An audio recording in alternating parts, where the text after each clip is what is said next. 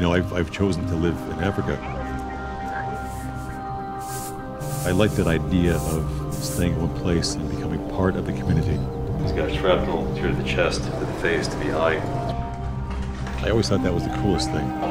This baby. Yeah, he's too big.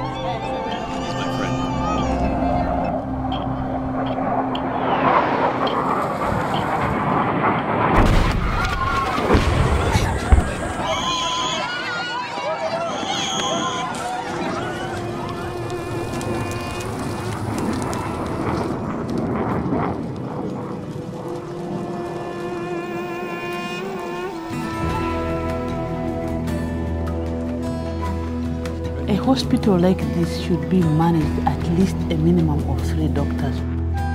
Dr. Tom, he's the gynecologist, he's the physician, he's the surgeon, he's everything.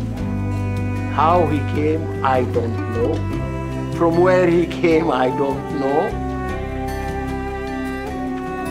I call it a miracle.